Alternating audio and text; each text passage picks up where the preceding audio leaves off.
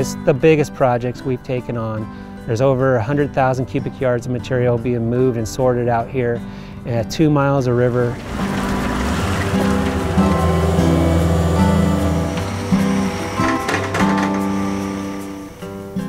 Within the Columbia River Basin on the Grande Ronde River in northeastern Oregon, federal, tribal, and local partners are working to restore the ecosystem along a 1.9 mile stretch of the river to improve conditions for the Snake River spring chinook, summer steelhead, and bull trout. This system might look at first glance like it's not that big a deal, not what's the problem here, but really there are very large problems here. It hasn't had a chance to reinvigorate itself because the impacts were so large. The Grande Ronde was drastically simplified by human causes such as splash damming to transport timber, railroad and road construction, overhunting of beaver, placer mining, and more. When you simplify a river like that and put it from a multiple thread uh, channel into kind of a single thread, you take away a lot of that uh, dynamic ability of that river to create a lot of those, those microhabitats which are really important for pretty much all wildlife species. The perturbation of that doesn't allow the natural processes to reinvigorate itself. And so that's why we're coming in here with such a heavy hand, is because we feel like it needs to be kickstarted. We're trying to make this river wiggle again, back and forth, up and down, to create a remeandering, multi-threaded channel network. Hydraulic engineers designed the new channel network after extensively surveying the existing system.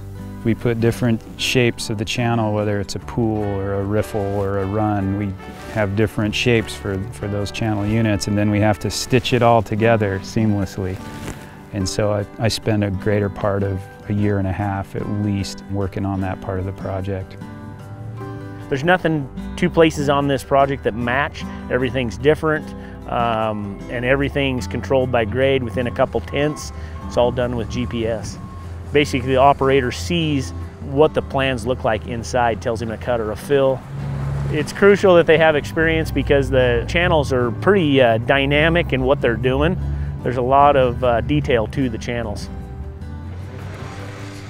This can't stop right here. This has to go all the way. Yeah, so let's go there. Roughly 10,000 feet of channels are being built to emulate the natural complexity of a robust river and healthy habitat. Diverse areas are being built like pools and side channels where juvenile fish can rest and eat. Large wood to initially stabilize riverbanks and provide cover for fish to hide from predators floodplain structures that mimic beaver activities to regulate flows and provide habitat, and riffles to oxygenate the river. It's more than a river project, it's an ecosystem project, it's a floodplain project. Designed, funded, and implemented by a team of federal, tribal, and local partners, the project is a testament to what can be achieved with collaboration. Even the local landowners of Jordan Creek Ranch agreed for the project to extend onto a half mile of their property. It, it takes a big team. There's been a lot of momentum, and, and that success is, is uh, largely come from this collaboration between all the project partners. With three quarters of the project residing in the Wallowa Whitman National Forest, the Forest Service is planting native vegetation along the new banks and in the floodplain. And there's going to be uh, somewhere in the order of 30,000 plants that are going to be planted on the project site. It's a mix of uh, species that are native to this area, so cottonwoods, willows, um, alders, dogwoods. The plants are kind of like the rebar of the earth. They help hold channels together.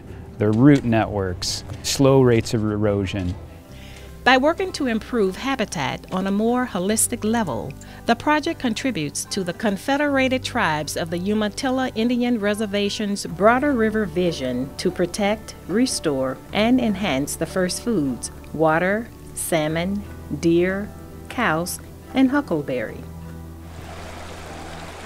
A lot of these projects, you see a lot of short-term benefits, but I think the long-term 10-year plan is when you really start to see the natural conditions take over. It's really exciting to me. I can't wait to come out here in 20 years to see how that evolves.